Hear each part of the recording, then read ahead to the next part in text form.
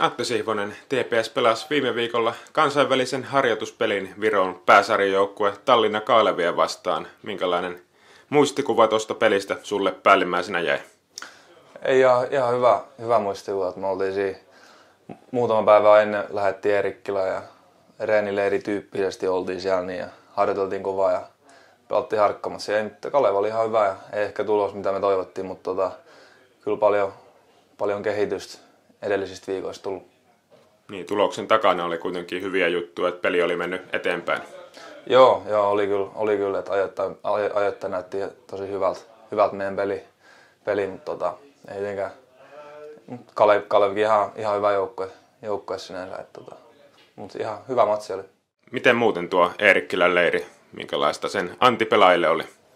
Ei, oli ihan hauskaa, hauskaa viettää äijien kanssa tota aikaa, että paljon uusia, uusia, uusia pelaajia tässä näin, niin reenattiin, reenattiin paljon ja käytiin vähän saunomassa ja avannossa siellä, niin oli ihan hauskaa. Sinä teet nyt tälle vuodelle paluun takaisin kasvattajaseuraan, Turun palloseuraan. Miltä on tuntunut palata takaisin Tepsiin ja Turkuun?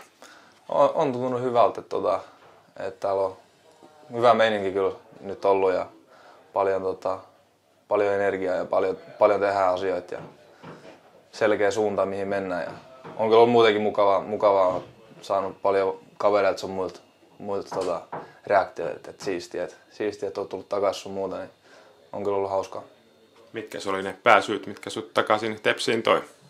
No en mä tiedä, siis kyllä oikeastaan pääsyy se, että kyllä mä haluaisin pelata Tepsis, Tepsis ja varsinkin nousta Tepsin kanssa veikkausliigaa, että nostaa se sinne, mihin se kuuluu. Miten tässä on joukkue aika paljon vaihtunut siitä, kun sinne edellisen kerran pelasit Tepsissä, ei montaa samaa pelaajaa ole enää joukkueessa, niin minkälaisia jätkiä teillä nyt on tämän vuoden Tepsissä täällä Pukukopissa? No joo, ei ole kyllä monta, että siellä on muutamia, muutamia vanhoja tuttuja, tuttuja mutta on tuossa pari kanssa, kenen kanssa on, sit, on Ropsis, Ropsis oli Niemelä ja Hakas oli toi Kolliini, että muutamia tuttuja sieltä sun täältä tullut, mutta tota, ei mitään ihan, ihan hyvi, hyviä äijä vaikuttaa kaikki oleva. Et, et tota, tässä me kasvetaan joukkueena vielä ja mennään eteenpäin. Joukkueen lisäksi TPS on uudistunut vahvasti myös valmennuspuolella. Minkälainen ensivaikutelma uudesta päävalmentajasta Miika Nuutisesta on sinulle muodostunut?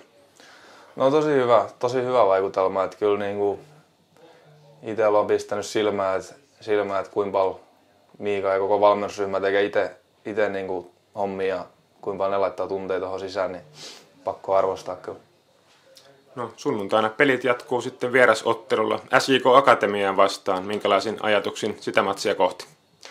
No ei, kyllä, kyllä me lähdetään voittoa, voittoa hakemaan, että se on tietty hyvä asia, että kun pelataan kilpailuisia pelejä, kyllä me halutaan kapis mennä jatkoon, jatkoon että tota, voittoa haetaan ja pyritään kehittyä taas joukkueena. Viimeinen kysymys tähän Atte loppuun vielä. Sunnuntain pelissä on paitsi pelipäivä myös sinun syntymäpäiväsi. Niin onkin, joo, totta. Se olisi varmaan pelaajalle kaikkein paras syntymäpäivälahja, että voitto tulisi joukkueelle. No kyllä se on joo. On sitä hauskempi viettää oma synttäri. Synttäri muutenkin, muutenkin tuolla bussis, bus, muutenkin kuin tuota bussissa istua. Mukavampi kotimatka tulee, jos on voitto taskus.